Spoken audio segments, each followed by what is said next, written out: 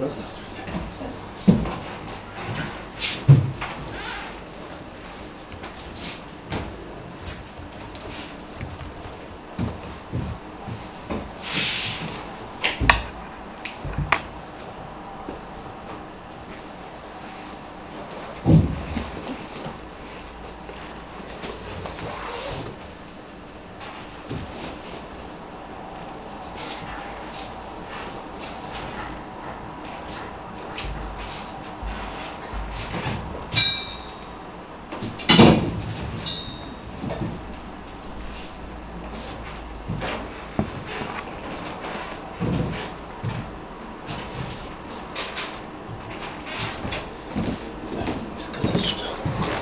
Самая просторная аудитория.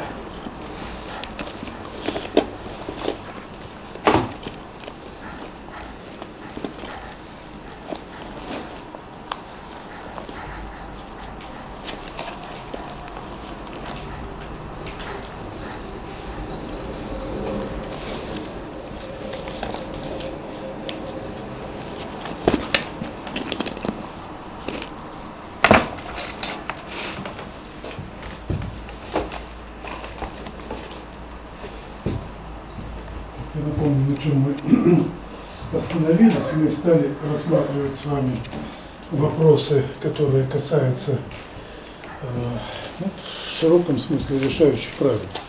Того, как мы будем предписывать те или иные объекты X, которые принадлежат некоторому множеству X, к тому или иному классу.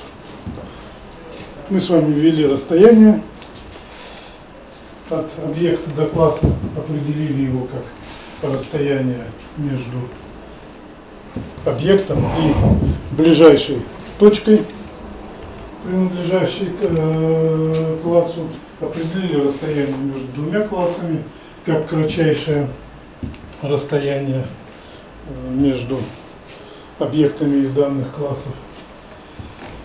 Сейчас я введу еще одно понятие, которая так и называется, решающая функция. Э, Давайте будем предполагать, что у нас есть, э, во-первых, предположим, что пространство, которое мы рассматриваем, сепарабельно, то есть оно разделимо на классы, потому что это, вообще говоря, никем не доказано. Могут существовать пространства, которые не сепарабельны. Ну, то есть разные объекты, принадлежащие вообще разным классам, между ними замешаны таким образом, что сложно понять, какой объект к какому классу отнести, если фильм Кинзадза помните? Не помните? Смотрели, конечно. Смотрели, да? Ну вот помните, там было это самое, Апацак, это что, национальность? Значит, вот представьте у него отобрать этот прибор, а потом сказать, определи, кто пацаки, а кто человек, да? А все, у него нет э, никаких алгоритмов, потому что единственный признак, по которому они это делать умели, э, он исчез. Все пространство стало несепарабельным. А с этим признаком было сепарабельным. Поэтому сепарабельное или несепарабельное на практике на самом деле очень часто зависит от того, насколько мы уда- удачно выбрали пространство признаков.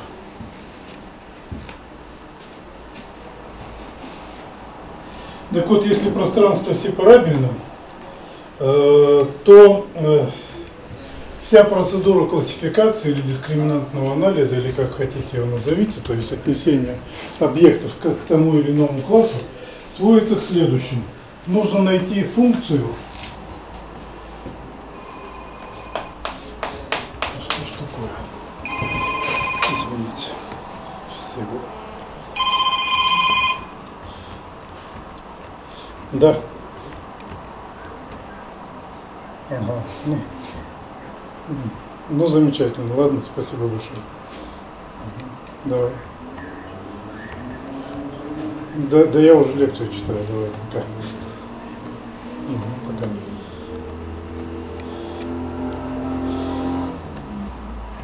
Извините, что-то как-то жизнь стала очень, очень бурной. Сейчас я его выключу.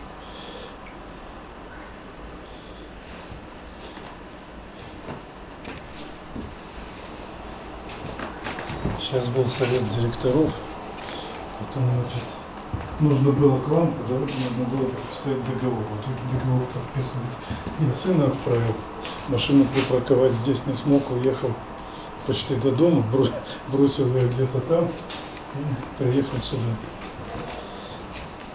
Я вообще не люблю ездить в университет на машине, потому что доезжаешь более-менее быстро, а потом начинается приключение.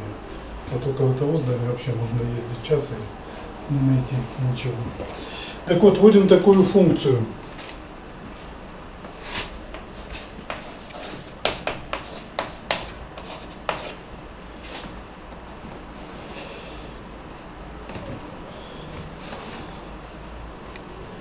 О виде ее мы пока говорить ничего не будем, но эта функция обладает таким свойством, что если для класса i и для любого йод, где йод это 1, 2 и так далее n, n это у нас количество классов, которые есть в пространстве. Так вот, если выполняется такое неравенство для какого-то класса i, то э, мы говорим, что у нас данный объект x, который мы рассматриваем, это знак вектора, точно относится к классу i. Ну, весь фокус только в том найти такую функцию, чтобы она для данного класса была больше, чем для любого другого класса.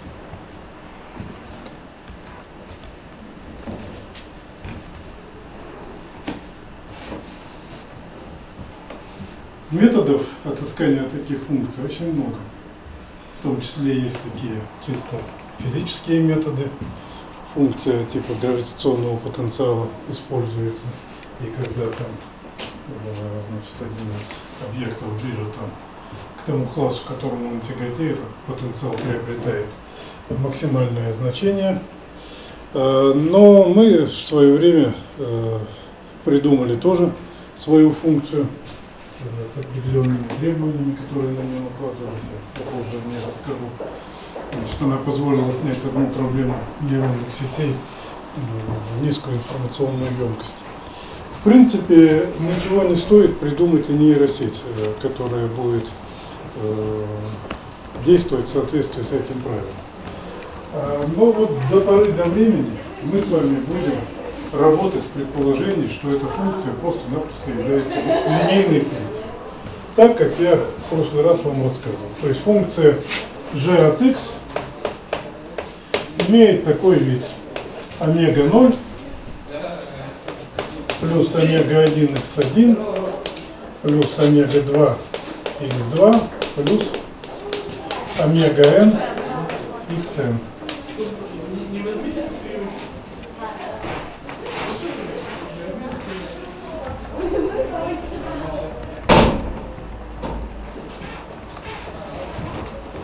Значит, можно записать это по-другому. g от x равняется вектор омега на вектор x, скалярное произведение, э, где вектор x имеет вот такие координаты. Единица, x1 и так далее, x. Что-то я написал,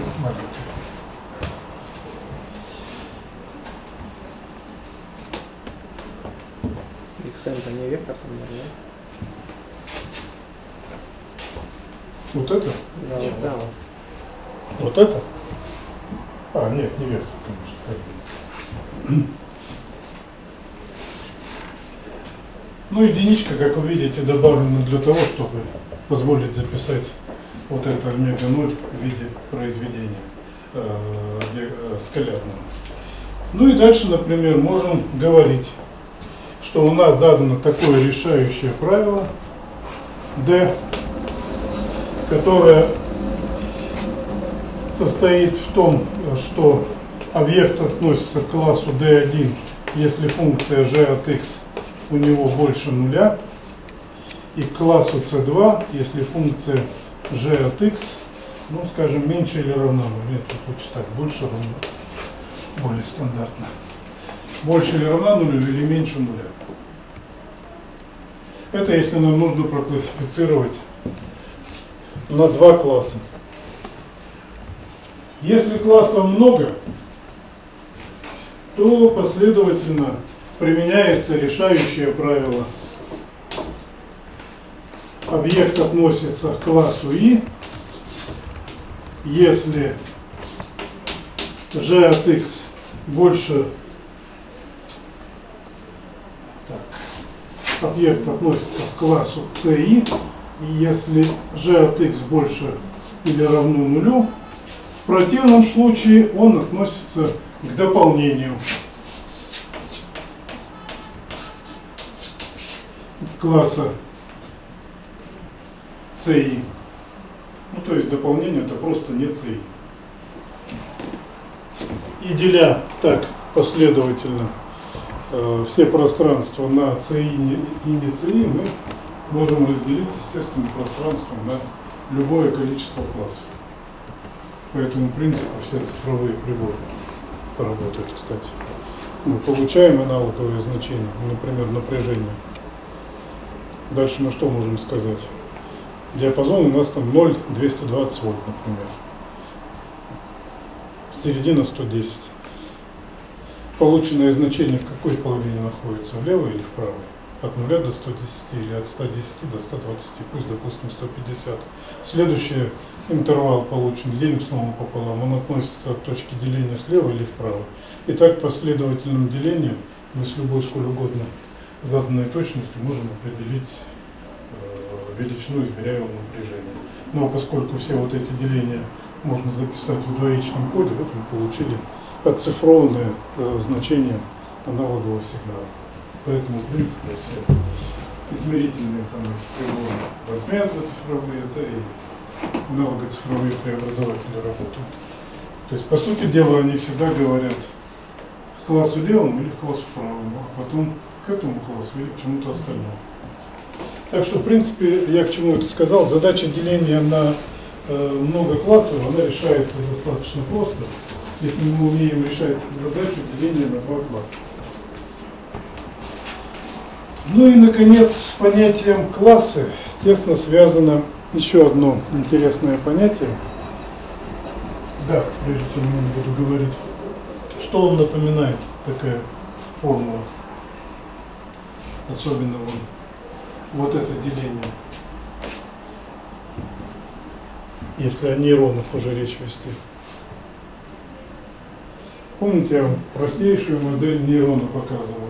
Нейрон суммирует все входы, которые у него есть. Вот, пожалуйста, веса синаптических связей. Вот это сигналы, поданные на входы. Вот это вот сумма. А вот у нас правило. Ну, омега это просто пороговое значение в данном случае.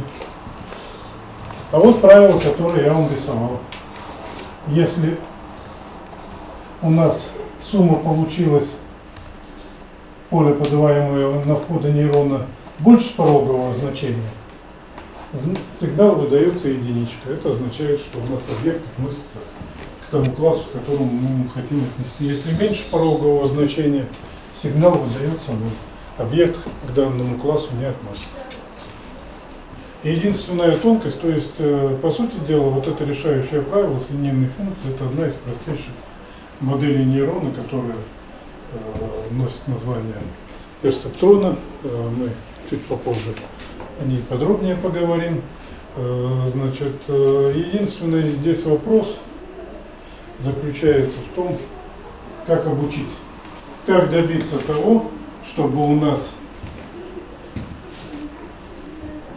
веса были подобраны таким образом, чтобы функция g от x была больше нуля для всех объектов класса C1 и была меньше нуля строго для всех объектов, э, не принадлежащих классу C1. Ну или на нейронном языке, как сделать, чтобы выход равнялся единице, если объект относится к правильному классу нулю, если он к этому классу не относится. Процедура на самом деле там не очень хитрая, э, идет, э, ну единственное, что нужно иметь обучающую последовательность, сеть не является самообучающейся, то есть сама она не может обучиться распознавать ей нужно показать примеры, ну, грубо говоря, показывать и говорить, вот это класс C1, вот это тоже класс C1, вот это не класс C1.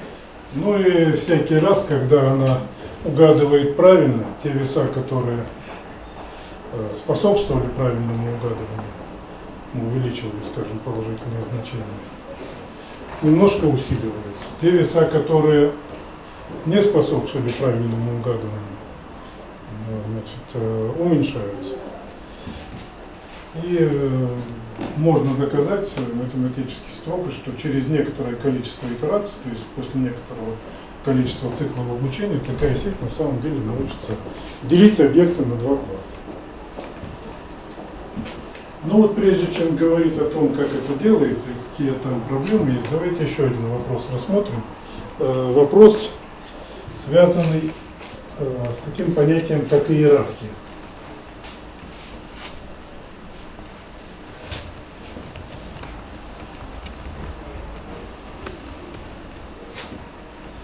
Понятие иерархии очень важно, оно позволяет любое множество элементов разделить на некую совокупность элементов, объединить в группы по какому-то признаку, по признаку расстояния между этими элементами. Ну, давайте я изображу вот такую картинку.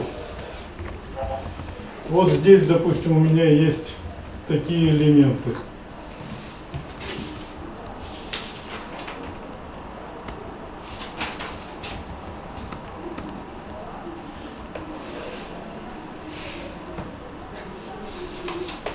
X1, x2, x3, x4. Ну и здесь x1, x2, x3, x4. И э, между этими элементами есть каким-то образом определенное расстояние. Помните, мы с вами в прошлый раз говорили о том, что расстояние можно разными способами определить. Вот мы предположим, что у нас, скажем, ну, между самим собой расстояние, естественно, 0. А дальше выглядит так. 5, 0, 5, 2, 5, 1, 0, 6, 0, 5. Я прошу прощения, поленился посмотреть, соответствует ли рисунок таблице. Э, Так что если не соответствует, извините меня. Наша задача сейчас не посмотреть, как строится иерархия, а просто показать, что это такое. 0,6, э, 2,5. Вот, что у нас здесь э, можно заметить? Ну, во-первых, свойство расстояния выполняется. Расстояние между самим собой равно нулю. Э, Дальше расстояние, как положено ожидать, симметрично. Расстояние от x1 до x2 точно такое же, как от x2 до x1.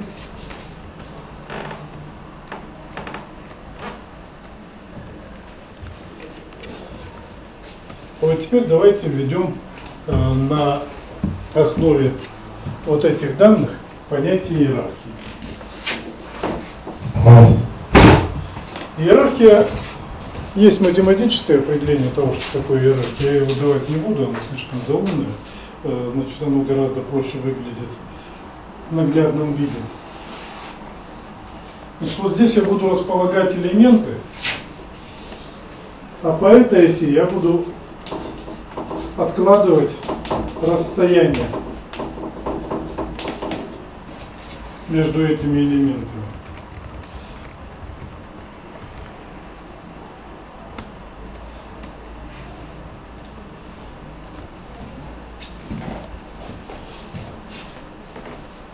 Я сейчас нарисую картинку, потом я просто прокомментирую.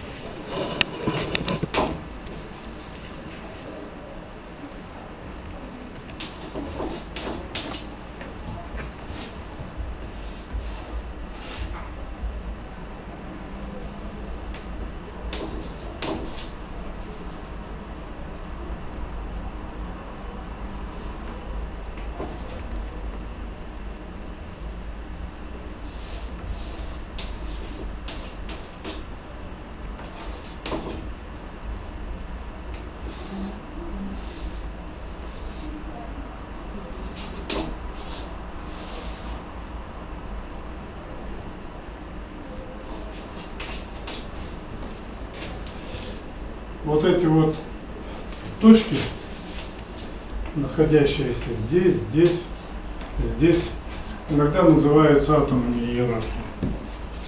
То есть некоторые условно элементарные неделимые совокупности, которые, которые объединяют э, наши исходные элементы в некие группы. Ну, соответствие здесь такое. x4, x3, x1 и x2.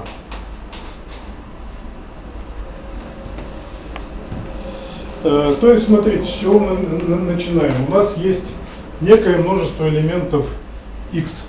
1, 2, 3, 4. Мы собираемся что сделать? Просто перегруппировать немного эти элементы, объединив их в некоторые иерархические группы. H1, H2, H3, H4. Значит, первая иерархическая группа, ну давайте, это у нас будет группа x1.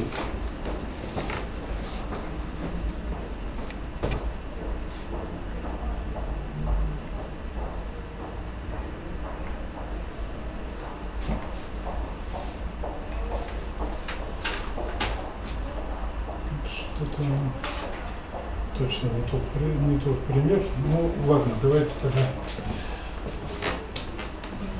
Беру, э, тогда по, пока не торопитесь перерисовывать рисунок, может он у нас э, по-другому будет выглядеть.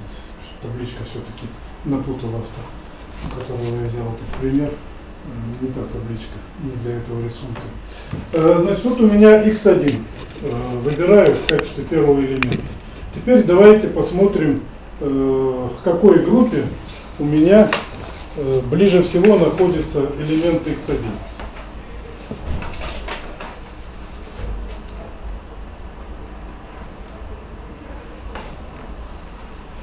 Есть два правила, по которым строится иерархия. Первое правило – в одну группу объединяются элементы, у которых расстояние друг до друга минимально. И второе правило, в одну группу определяется элементы, у которых расстояние друг до друга максимально. Ну, более естественно, значит, в первом случае мы получаем объекты, которые в каком-то смысле близки к друг другу, во втором случае в группу у нас объединяются объекты, которые максимально друг от друга далеки. Но мне это кажется не очень естественно, хотя не могу я сходу придумать. Математически это можно сделать, я не могу придумать аналога, который э, значит, требует такой модели. А вот близкие группы, э, они э, близкие по разным признакам, они достаточно часто используются. Так вот, смотрите, я, я выбрал первую, первый элемент, x1. Значит, у нас есть такое правило, что когда мы э, смотрим, с кем этот x1 объединить, э, то у нас получается, что наименьшее расстояние э, значит, у нас по правилу минимального расстояния до объекта x3. То есть x1, x3 я объединю в первую группу. Давайте обозначу ее группой А. Рисунок сотру чтобы уже построить рисунок, который соответствует таблице нарисованной. Значит, давайте теперь изобразим другую таблицу. Э, введем, поскольку x1, x3 у нас уже объединилось в одну группу А, значит, у нас появилась группа А и два элемента, которые пока ни с кем не сгруппированы, x2 и x4 я запишу это таким образом. x2, x4a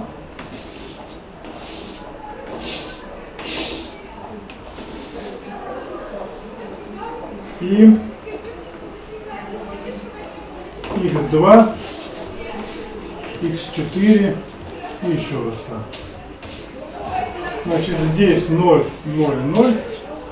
Э, дальше x2 x2, x4 в соответствии с этой таблицей от x2 до x4 0,6. соответственно, от x4 до x2 тоже 0,6. А вот теперь расстояние от x2 до чему равняется?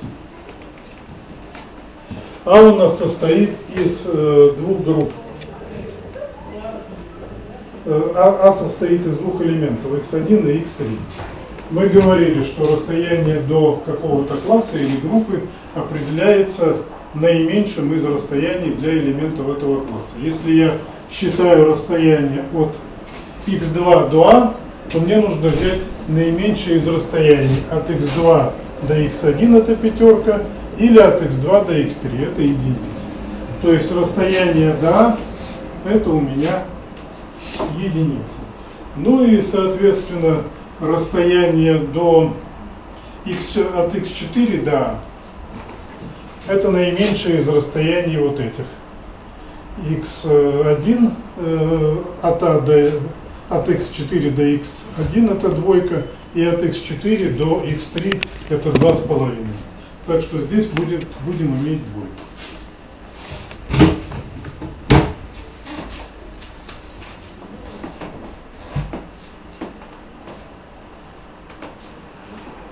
Давайте снова посмотрим, какие расстояния у нас э, здесь в данной таблице являются наименьшими. Но очевидно наименьшими является вот эта группа. Расстояние от x2 до x4, 0,6. То есть следующая группа, я ее обозначу b, состоит из двух элементов. x2 и x4.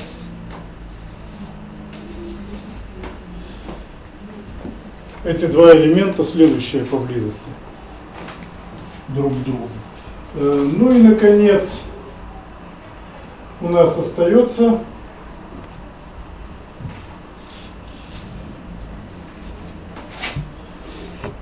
последняя табличка А, Б, А, Б, расстояние от А до А и от Б до Б это 0, а вот расстояние между группами А и Б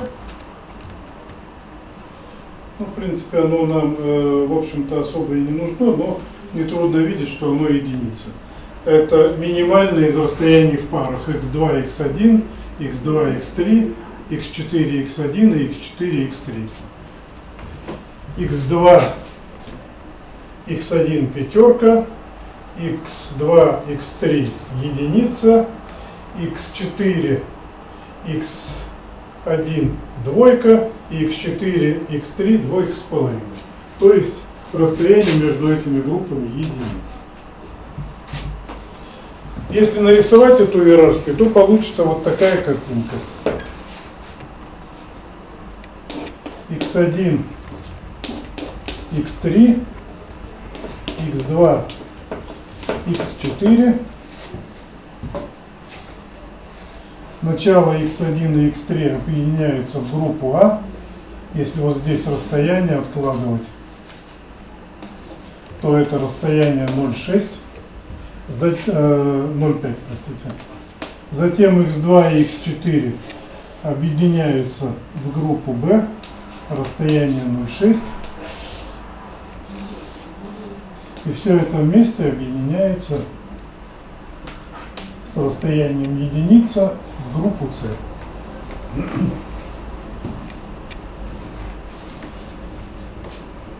По признаку расстояния у нас наше множество разбилось на вот такие группы. Мы в дальнейшем увидим, что есть очень такая интересная аналогия между вот такой вот иерархической структурой, которая раз, позволяет элементы разбить на классы, э, значит, и э, состояниями, которые реализуются ну, в некоторых физических моделях, моделях нейронных сетей, в частности модели Хопфилда, э, или, если хотите, модели спинового стекла со случайным обменом. Значит, э, вот там реализуются такие достаточно интересные структуры в фазовом пространстве. Что у них интересного? Э, значит, э, ну, во-первых, смотрите, в данном случае можно на иерархии тоже ввести понятие расстояния. Понятие расстояния таким образом. классифицировать расстояние между любыми элементами расстоянием до ближайшего общего предка. Вот не тем расстоянием, которое мы здесь в этой табличке ввели, а вот этим расстоянием. Ближайший общий предок. Вот в этом плане у нас x1 и x3 близкие элементы, x2 и x4 тоже близкие элементы. А x1 и x4, или скажем x3 и x2, имеют расстояние большее, чем элементы внутри этой группы, потому что у них предок находится общий, находится на одну ступеньку дальше. И в этом есть э, ну, весьма глубокий смысл. Э, Потому что вот тонкие детали, когда мы берем, э, мы можем получить значит, ну, негруппируемый элемент.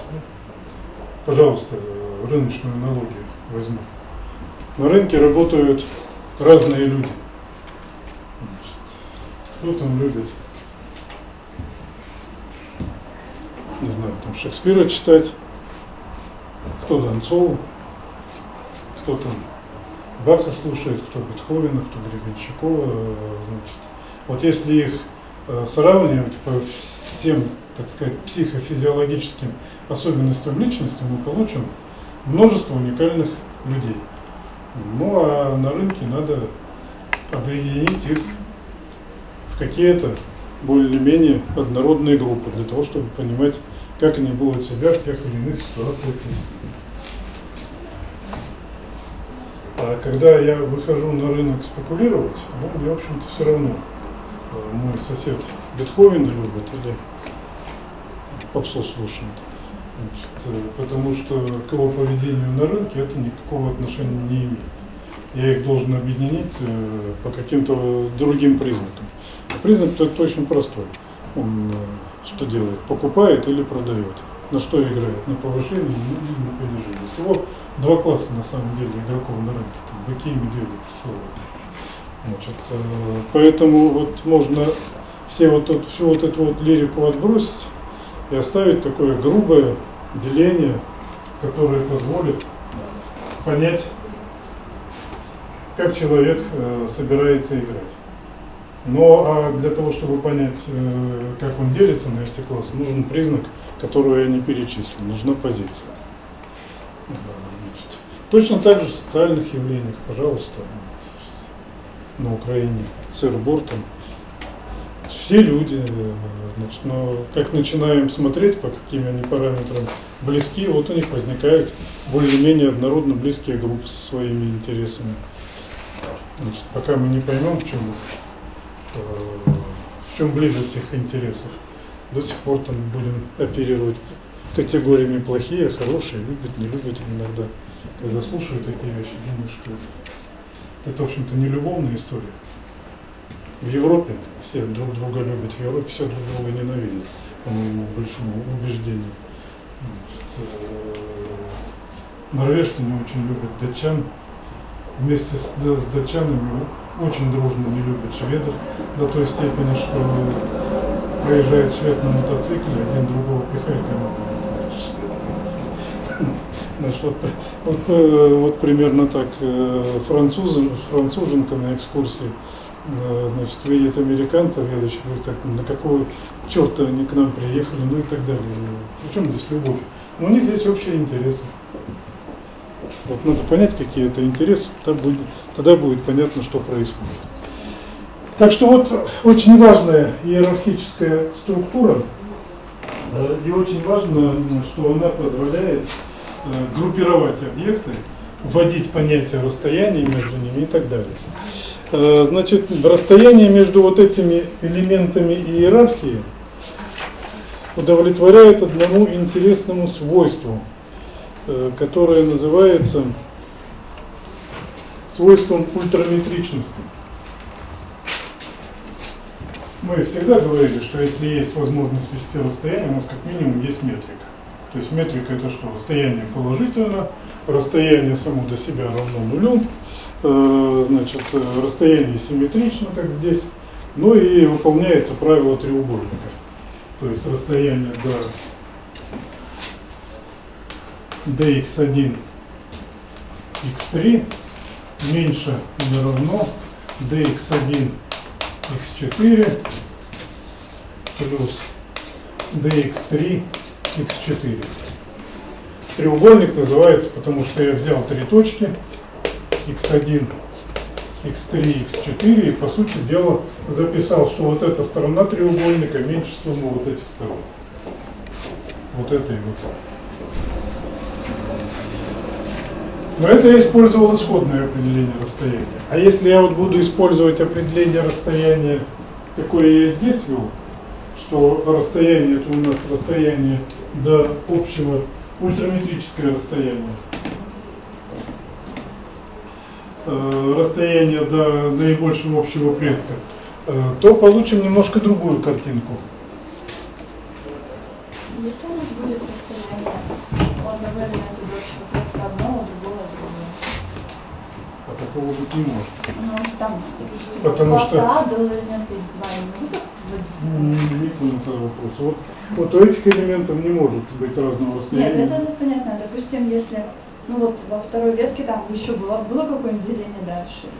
А тогда бы мы их объединили бы, ну скажем, еще появился какой-то элемент x5, все бы зависело от того, с чем бы мы его сгруппировали. Если бы он оказался, э, ну скажем, ближе вот к этой группе, чем к этой, мы бы могли ввести еще один элемент иерархии, то есть было бы А, была бы какая-то группа А со штрихом, была бы группа Б, вот так бы это выглядело.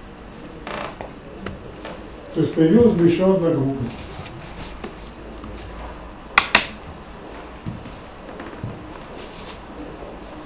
Или повторите вопрос. Да нет, что, оставалось, давайте выясним. Так алгоритм стандартный, он всегда сделает такую схему, что минимальное расстояние будет просто Так естественно, мы э, для того, для того это и строится. Я просто э, тупо, грубо говоря, выбираю, группирую по признаку самые близкие элементы, следующие поблизости, следующие поблизости и так далее. А ультраметрику на всем этом я э, ввожу вот таким образом. Но опять-таки расстояние между группами равняется нулю.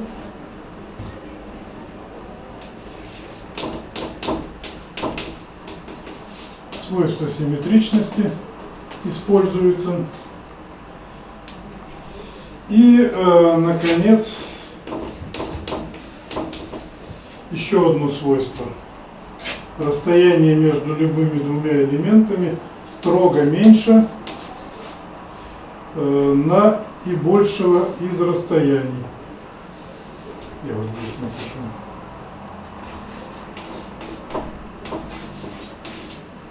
Дельта и К, дельта К Ё.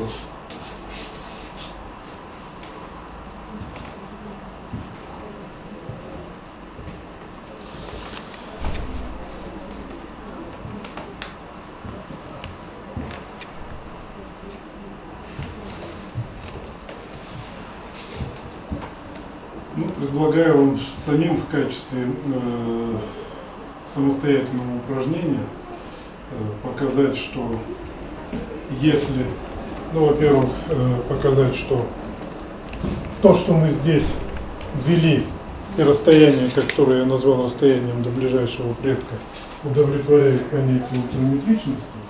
Но, во-вторых, что если у нас э, выполняются условия ультраме- ультраметричности, то все такие расстояния, явля- все треугольники э, в таком пространстве у нас являются либо равнобедренными, либо равносторонними, значит, которые можно образовать. Э, Сейчас нам понятие ультраметричности в общем особо не нужно.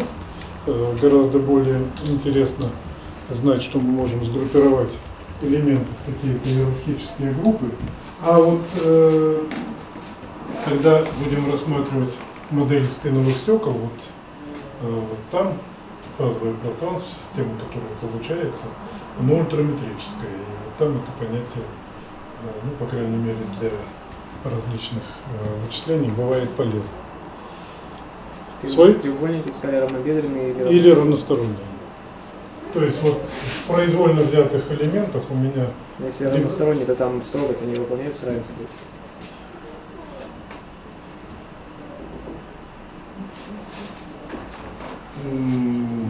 Сейчас. Погодите, почему? Почему, почему? Почему? Потому что Давно этим занимался.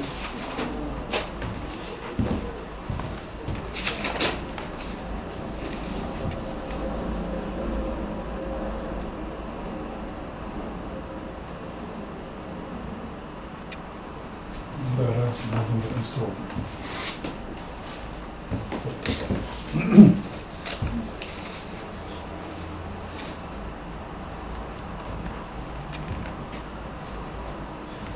Вот объединение в иерархические группы, оно э, на практике оказывается полезным э, в различных прикладных задачах. Значит, это можно такое разбиение делать с помощью нейросетевых технологий, можно, в общем-то, э, не называть это нейросетями, значит, вести расстояние, и алгоритм достаточно простой, по-моему, есть много стандартных программ, которые делают. В свое время нам, например, потребовалось все банки России э, ну, каким-то образом проклассифицировать, разбить их на какие-то э, более-менее однородные группы. Ну, подоплека у этой задачи была э, ну, достаточно простая, нужно было понять, к какой группе банков мы относимся, ну и, грубо говоря, не лезть в те группы, значит, с которыми нам отношения ну, по определению противопоказаны. Ну, грубо говоря, если слон будет играть с лягушонком, самыми добрыми намерениями, значит, то очень может быть он его случайно раздавит. Значит, э, не имея в виду там, сделать ему ничего плохого, но просто потому что он слон, э, лягушонок очень маленький, он там неуклюже повернется и э, вызовет какие-то серьезные проблемы. Точно так же мы э, в экономике, если у нас работают два экономических объекта, ну, с существенно разным экономическим потенциалом, ну, скажем, мы, Уралнефтурбанк в то время, и какой-нибудь там Чейз Манхэттен банк, у которого все наши э, активы равны всем нашим активам, умножить примерно на тысячу и перевести все в доллары. А у нас, а у нас в рублях. Э, Значит, э, масштабы несопоставимы. Поэтому спрашивается, если мы с ним войдем в одну группу и начнем значит, там, предлагать работу на межбанковском рынке, о чем мы можем предложить? Мы ему кредиты, которые у межбанковского, который для него интересен, выдать не можем. С другой стороны, кредит, который ему бы было интересно выдать, мы взять не можем, потому что а чего? Куда нам там сотни миллионов долларов, в общем-то, смешную сумму значит, сходу девать э, быстро. Мы с другими, э, значит, ну, по крайней мере, в то время работали. Сейчас-то банки стали крупные, на самом деле. Вот этот процесс укрупнения, который там Путин активно э, проталкивал, э, он, кроме своих там, негативных вещей, имел позитивные вещи. Э, Ну вот, и, исходя из этих признаков, нужно было банки сгруппировать так, чтобы... Понятно, что как-то мы с ним работать можем, но работа будет скорее односторонняя. У нее тоже есть аналог э, в нейронных тех же сетях. То есть э, такой банк нам интересен, ну, как банк старший партнер, как э, вылетело уже, уже из головы э, правильное название. Можно назвать система, системообразующий банк. Банк, ба- банк банков, вот, есть такой термин. Значит, э, это банк, но у нас есть один в каждой стране банк банков, центральный банк, в котором, ну, скажем, все банки обязаны открыть корсчета.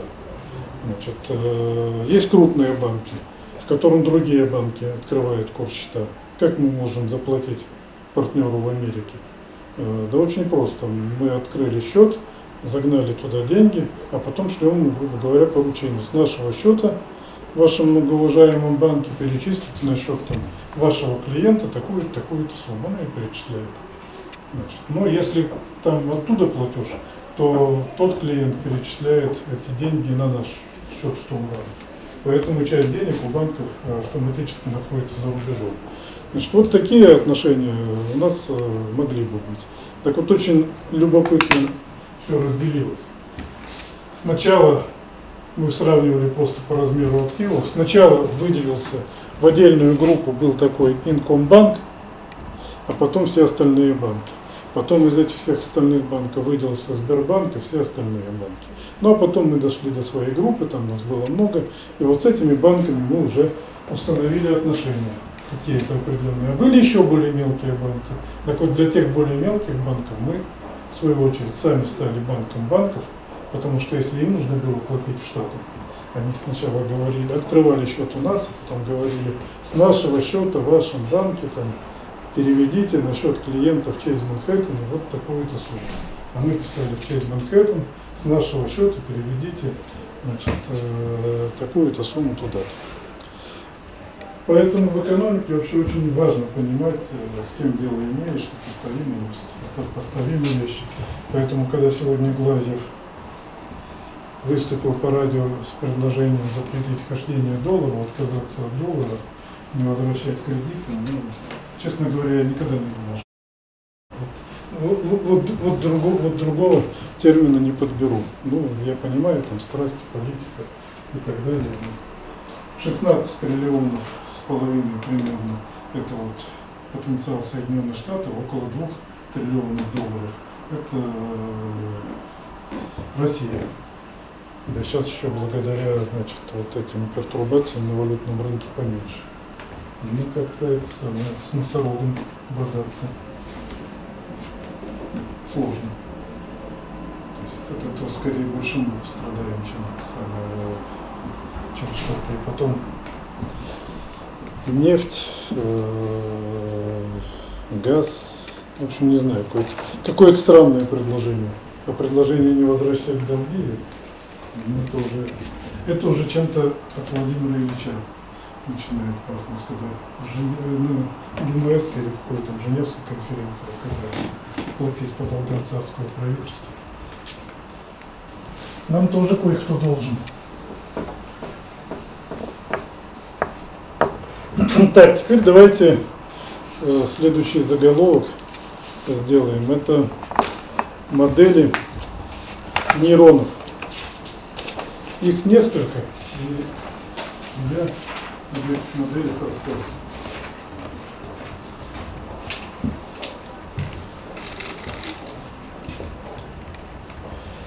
Ну, во-первых, начнем с модели, о которой мы уже с вами в прошлый раз говорили.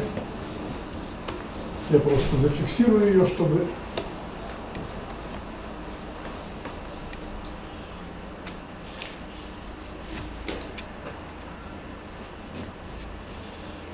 Значит, у нас будет нейрон.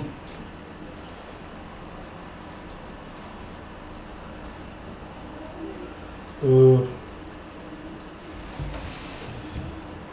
ну, у многих из этих моделей есть имена. Вот этот называется э, моделью Маккалока пицца, хотя, в общем, название не очень часто встречающееся. Значит, э, имеется в виду, что у нас есть некий нелинейный объект, который построен следующим образом.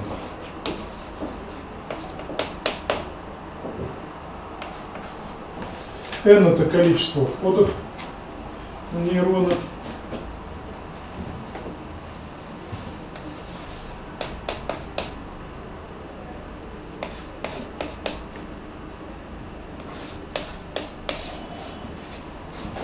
Э, здесь я поставлю индекс э, t. Э, мы иногда будем его трактовать как время, то есть будем иметь в виду, что входы нейроны могут меняться со временем. Хотя на самом деле динамические модели, как правило, в нейронных сетях не рассматриваются. Я чуть дальше объясню почему. Дальше добавим еще пороговые, пороговое слагаемое. можно сказать, что на вход нейрона поступает суммарный сигнал УИТ, который равняется сумма по йод от единицы до n омега и йод x йод.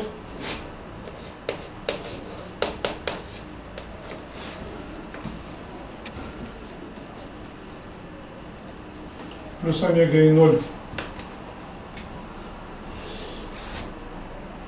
А функция f от u это функция, которая удовлетворяет вот такому условию. Это единица для u большего нуля и 0 для u меньшего или равного нуля.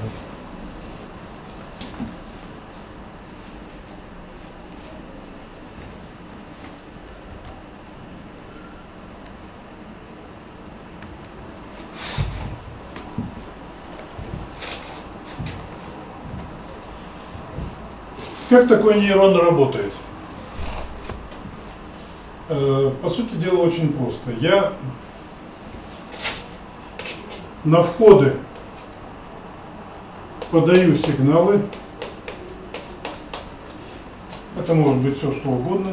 Могут быть нули и единицы, могут быть аналоговые э, сигналы, э, то есть реальные числа.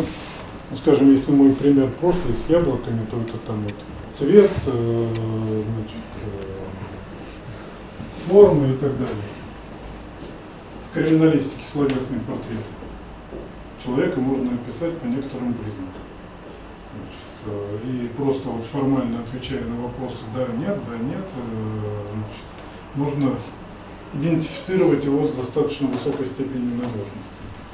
Все эти сигналы суммируются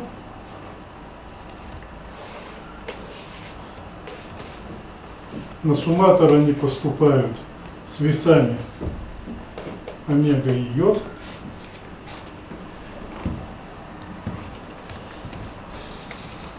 И после суммирования формируется сигнал уитая, вот этот, и выдается результат. Результат может быть в соответствии с этой пороговой функцией единичка или ноль. Ну, наша задача очень простая. Если объект относится к классу, который нас интересует, сигнал единичка. Если объект относится к другому классу, сигнал у нас ноль. Как я уже говорил, весь фокус только в том, а как правильно подобрать вот эти веса, чтобы научить нейрон реагировать, давать единичку или ноль в тех случаях, когда появляется правильный объект. Вот ответ на этот вопрос, точнее один из ответов, поскольку алгоритмов обучения может быть много, один из ответов э, носит название правила Хеба. Э, значит, э, Хеб исследовал чистую физиологию, то есть он смотрел, как физиологически обучаются нейроны, э, и обнаружил, что при обучении веса межнейронных сетей могут возрастать. Ну, я не знаю, рассказываю сейчас студентам или нет. Значит, у нас есть там динамический стереотип, статический стереотип, динамический стереотип, это вы сейчас там что-то изучили, ну, вроде поняли, ну и слава богу. Значит, а чтобы он появился статический, то есть чтобы навыки закрепились, нужно многократно делать одно и то же. Значит, э, как в армии, там, вступление за машиной. Вот. Вылезли и бежим за бронетранспортером добежали, бегом на исходный рубеж, снова в машину и снова бежим. И так далее, пока не, отучишься, не научишься делать э, все как положено. То же самое в спорте. Любой прием отрабатывается до автоматизма, чтобы появился статический стереотип. стереотип. Так вот, Хепс э, показал, как он появляется. Он сказал, что для того, чтобы он возник, э, должно происходить следующее – на каждом новом повторе веса нейронов должны меняться след- следующим, э, веса вот этих связей синаптических должны меняться следующим образом. Плюс это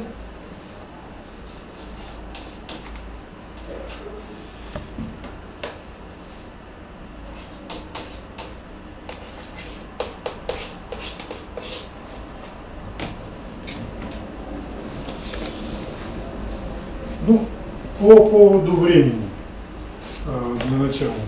Э, Значит, э, время как таковое, вот, э, в том плане, в котором мы физики его используем, э, используется в нейронных сетях э, сравнительно редко, потому что динамическую картину, в общем, там наблюдать особого смысла нет.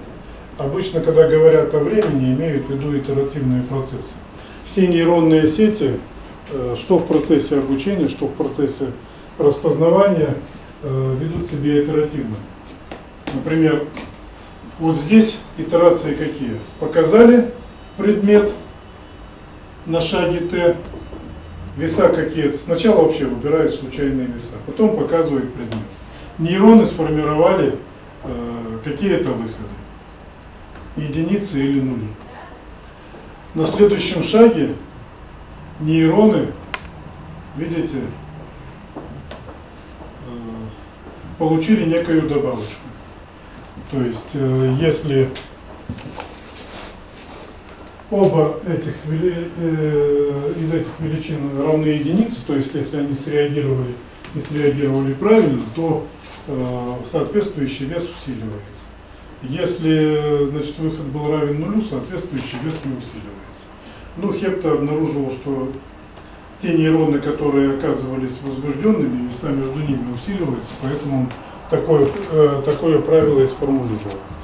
Значит, и так далее. Процесс итеративно идет до тех пор, пока нейроны не начнут э, давать правильные сигналы в ответ на предъявление э, значит, объектов из того или иного класса. То есть, когда мы говорим о Т, Т это у нас э, ну, время такое достаточно условное.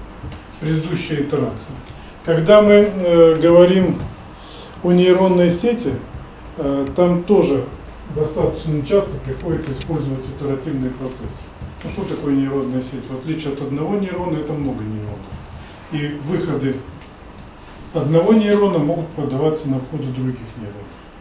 Получим э, многослойную сеть, сеть Хопфилда, многослойные персептроны и так далее. Э, Потом мы на вход подаем какой-то сигнал и просим сеть узнать, что это такое, что у нас произойдет. Мы должны вообще посмотреть, в каком состоянии окажется. Мы подали сигнал, у нас этот нейрон прореагировал, выдал сигнал на следующий нейрон, тот тоже прореагировал. Если допустимы обратные связи, то в конце концов я получу на входе какой-то измененный сигнал. Потом пойдет второй итеративный цикл, потом третий итеративный цикл и так далее, пока сеть не успокоится. Вот такие итерации, э, значит, они условно и воспринимаются как. Вот это правило я думаю, что пока оно еще не очень значит, понятно, но запомните его. Это извест- известное правило Хеба, один из алгоритмов обучения нейронных сетей, и мы в дальнейшем э, значит, с ним будем работать.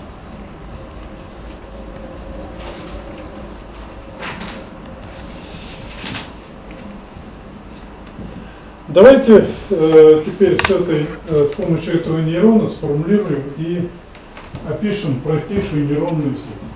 Э, значит, она называется персептроном, или иногда говорят персептроном Розенблата. Появилась где-то в начале 50-х годов э, с очень большими возлагаемыми на нее надеждами, но достаточно быстро оказалось, что надежды несколько преждевременны, поскольку ряд простых задач такая нейронная сеть не решает. Э, Значит, э, в основе у нас будет лежать нейрон, который мы только что рассмотрели. То есть выход у этого нейрона определяется суммарным входом и принимает всего два значения, 1 и 0. 1 и 0 единица, если Так, строго положить. Сто-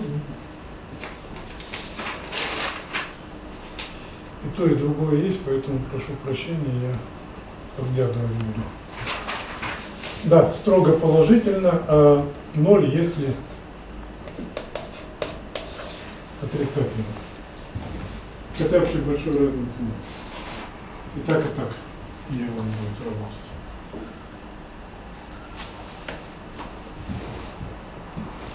Ну и суммарный сигнал определяется так, как я показывал. Э, Будем предполагать, что у нас есть некое пороговое значение. Вектор x, который мы подаем, будет равняться, будет иметь вот такой вид, единица, x1 и так далее, xn, то есть всего входов будет n.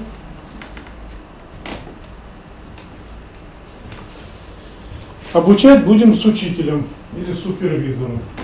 То есть предполагается, что у нас есть некая обучающая последовательность предметов, которые мы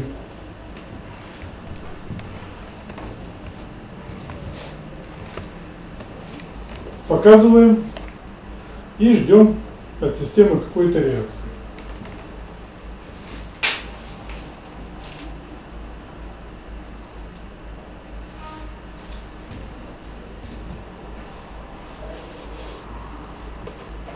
Давайте сформулируем такое правило обучения с учителем. Значит, э, если мы ведем обучение с учителем, то мы будем добиваться того, чтобы сигнал, который выдает нейрон, был максимально близок к тому сигналу, который нам необходим. То есть, если ДИТа это желаемый сигнал.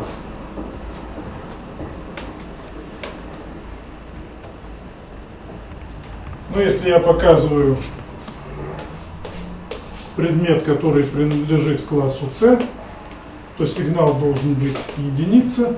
А если показываю предмет, который принадлежит дополнению до класса С, то сигнал на выходе этого нейрона должен быть равен нулю. Я пишу индексы по очень простой причине. Я рассматриваю здесь один нейрон. В принципе, э, никто не запрещает нам рассматривать несколько нейронов. Да еще вводить какие-то между ними э, связи. Ну, чтобы учесть, что в дальнейшем нейронов быть, может быть много, я вот и пишу индексы.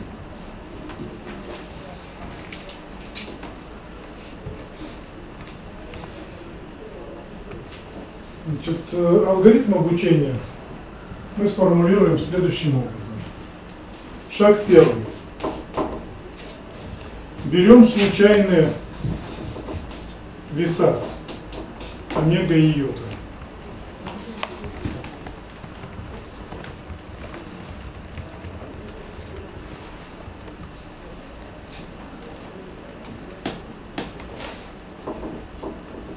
Шаг второй. Подаем на вход данного нейрона некий вектор x, который соответствует какому-то предмету из той совокупности, на которой мы проводим обучение. Это может быть все равно как предмет, принадлежащий классу, так и не предмет, и предмет, не принадлежащий классу. Если у нас выход y и равняется желаемому сигналу d и то веса, которые мы задали, не изменяются.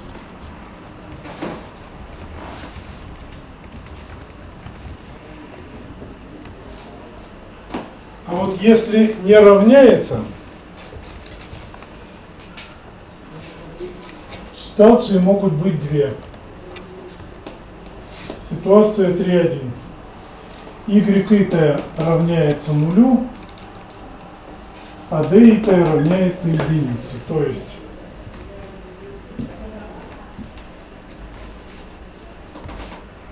предмет относится к нашему классу, а персептрон его не узнал. Значит, считает, что он к классу не относится. В этом случае делается вот такая коррекция. На шаге t плюс 1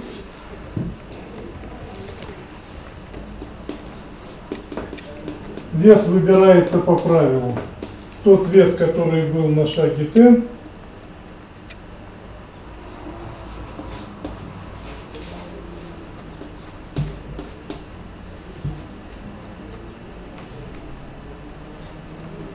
плюс э, значение входа x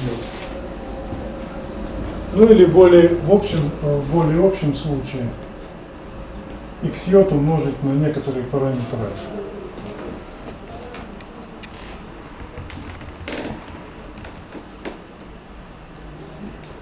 Альфа иногда называют э, темп обучения.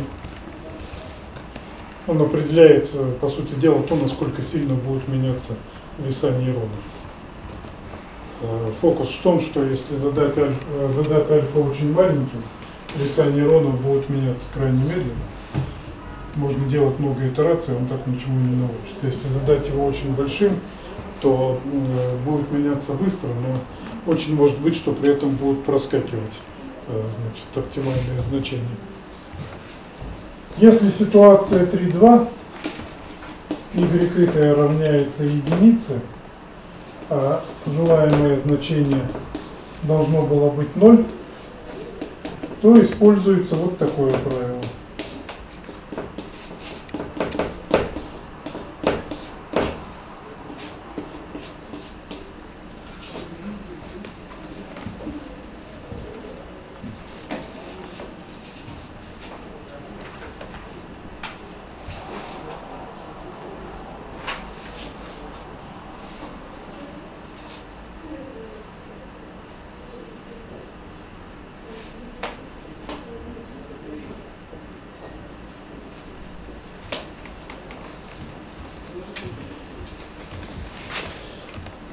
Иногда говорят так, что если ответ угадан правильно, то ничего не происходит, а если ответ угадан неверно, то идет наказание. Ну, в данном случае нетрудно видеть, что вес усиливается э, для того, чтобы получить большее значение входного сигнала и в итоге получить на выходе единицу, а в этом случае э, наоборот вес уменьшается, чтобы э, соответственно получить э, на выходе 0. Так вот, э, оказывается, что за конечное число шагов такую систему можно научить решать задачу дискриминантного анализа, то есть разделить все предметы, которые э, предъявлены такому перцептрону на два класса. На класс э, С и на не класс С. В принципе, это уже, конечно, достаточно много. Э, то есть это, по крайней мере, какие-то объекты позволяет из э, других объектов выделять. Э, ну, поскольку в тот момент, когда это все было придумано, никаких цифровых устройств, э, естественно, еще не было, то в свое время приходилось мне заниматься патентным поиском. Есть просто масса э, различных патентов, выданных на технические реализации персептронов, э, на фотоэлементах реализуемые и так далее, и так далее. Значит, и вот эти технические реализации на самом деле использовались для решения различных задач, э, в том числе видел несколько патентов на вот классификацию писем по индексам, э, значит, там тоже перцептронная схема. Но э, вообще говоря, это, конечно, слабенькая распознающая система, потому что ряд простых, в общем-то, задач она не решает. Но прежде чем говорить о том, каких задач данная система не решает, и, как эту сложность обойти, а обходили, как ни странно, довольно долго, вот где-то 50, 50 52 год, вот эта модель появилась. А, многослойные персептроны, но это 60-е годы, то есть лет 10 думали, хотя, в общем, дело, э, казалось бы, не очень хитрое. Так вот, прежде чем говорить об этом, э, я еще некоторые варианты обучающих правил приведу. Вот то, что здесь я нарисовал, на самом деле частный вариант более общего обучающего правила. Более общее обучающее правило выглядит так. При обучении с учителем, обращаю ваше внимание, пока говорю про учителя, вот тот, кто меняет веса, это и есть учитель. Э, при обучении с учителем у нас на каждой итерации веса нейронных связей получают вот такую добавку, где вот эта добавка равняется x йота на d минус y t. То есть желаемое, желаемый выход минус выход, который был реально получен, и умножается на вход соответствующего нейрона.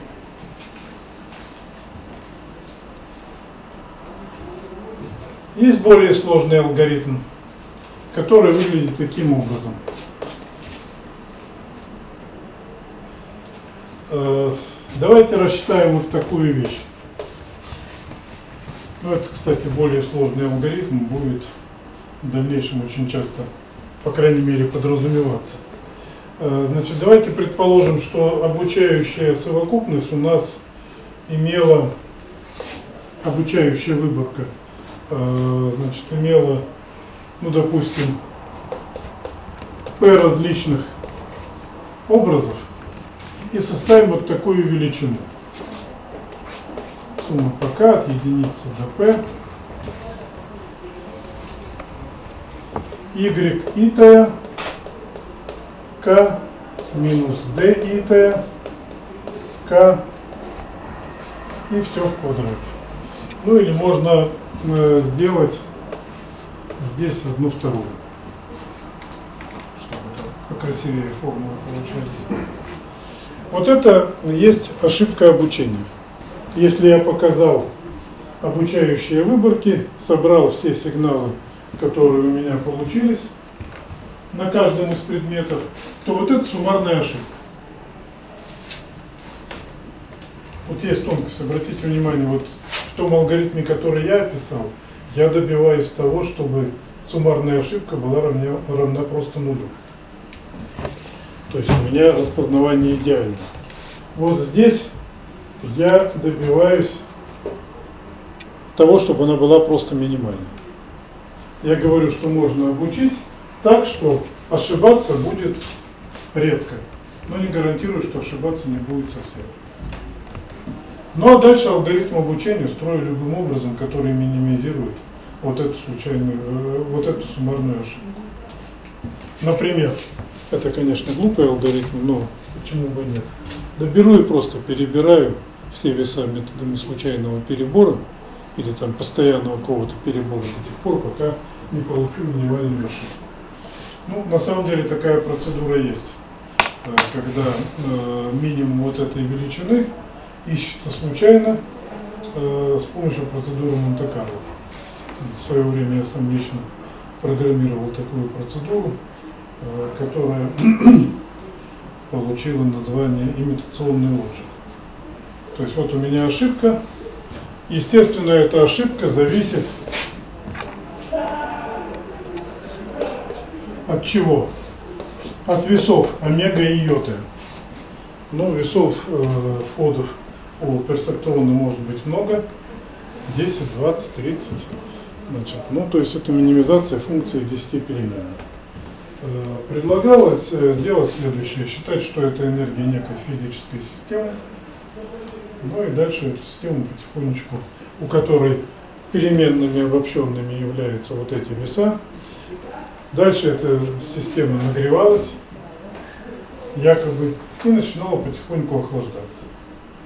Э, значит, процесс охлаждения моделировался с помощью метода Монте-Карло. То есть есть некий исходный набор случайных чисел омега и йота.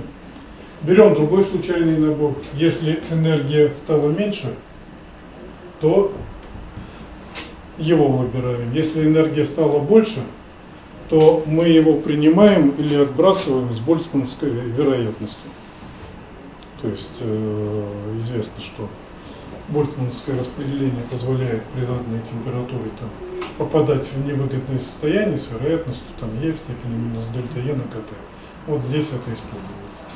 Э, значит, э, когда система там приходит в стабильное состояние, э, понижаем температуру, значит, и продолжаем, и держим систему при данной температуре, пока значит, она снова не придет в стабильное состояние, так потихоньку, потихоньку ее охлаждаем. Значит, Больцмановская вероятность и вообще понятие температуры используется для простой вещи, чтобы мы не попали случайно в локальный минимум и не остались в нем навсегда. Так-то, в принципе, можно было бы без температуры бросать просто случайные числа методом Монте-Карло и э, выбирать наименьшую энергию. Э, с температурой процесс идет чуть медленнее, но, в общем, зато есть э, ну, некие основания надеяться, что мы все-таки попадаем в достаточно хороший максимум. Процедура называется имитационный отжиг. Ну и, в общем-то, достаточно широко использовалась для поиска оптимальных весов связи. Есть процедуры, которые получили название генетических алгоритмов, поскольку э, в этом случае веса связи моделировались по биологическим принципам. Веса связи выступали в качестве родителей, значит, э, они производили потомство, но смысл все равно был в минимизации функции качества. Значит, есть чисто дифференциальные методы. Вот это последнее, что я сегодня расскажу. По идее, почему бы нет? Есть хорошо известный метод градиентного спуска. Значит, можно продифференцировать вот эту функцию по этому параметру, ну и двигаться в направлении ее уменьшения. Проблема заключается в том, что вот эти выходы плохо дифференцировать. Почему? Потому что мы взяли вот такую ступенечку. Ее как минимум нужно размазать. Очень часто функция тангенса используется гиперболическом. Там, правда, не 0 и единица, а плюс единица, минус единица. Ну, добавив единицу и поделив на 2, получим 0 и единицу. Но вот э, иногда возникает такое, мы этого тоже в свое время не избежали, дурацкое желание. А почему именно 0 единиц? А вот давайте мы придумаем там в духе нечеткой логики степень принадлежности к классу, например, почему выход нейрона должен быть именно 0 единиц. Пусть будет какое-нибудь число в промежутке от 0 до единицы. Чем ближе к единице, тем стало быть увереннее можем сказать, что Э, нейрон, что предъявленный объект относится э, к нужному классу. Ну, в принципе, почему бы нет, э, такое возможно, и такие вот модели нейронов используются. Но можно показать, что если мы берем достаточно сложную сеть с большим количеством нейронов, да еще, упаси Боже, у нейронов есть обратные связи, то оказывается состояние этой сети стабильно только в тех случаях, когда нейрон находится либо здесь, либо здесь. А вот в промежуточных, во всяком случае для сетей Хопфилда это точно так. В промежуточных вот этих точках он никогда не будет находиться, он все равно скатится какую-то из этих точек. Это доказывается математически, математически строго, ну, по крайней мере, еще раз повторюсь, для сетей Хопфилда, для многослойных персептронов. Поэтому э, большого смысла строить какие-то модели, у которых выход нейрона будет иметь э, значит, какой-то смысл отличный от «да», «нет», э, большого смысла нет. Но сама по себе вот такая модель удобна, потому что позволяет использовать методы градиентные метод скорейшего спуска и так далее для обучения нейронных сетей. И есть очень популярный метод, так называемый метод обратной ошибки, э, значит, который вот именно на таких моделях и основан. Ну, о методе обратной ошибки, о том, почему на самом деле простой персептрон не решает всех задач, которые нам нужны, мы с вами поговорим в следующий раз. Значит, следующий вторник, следующий вторник у нас не праздник случайно? Нет, 10 у нас понедельник. Так, ну следующий вторник у меня, слава богу, не совета директоров ничего нет, так что в 4 часа встречаемся.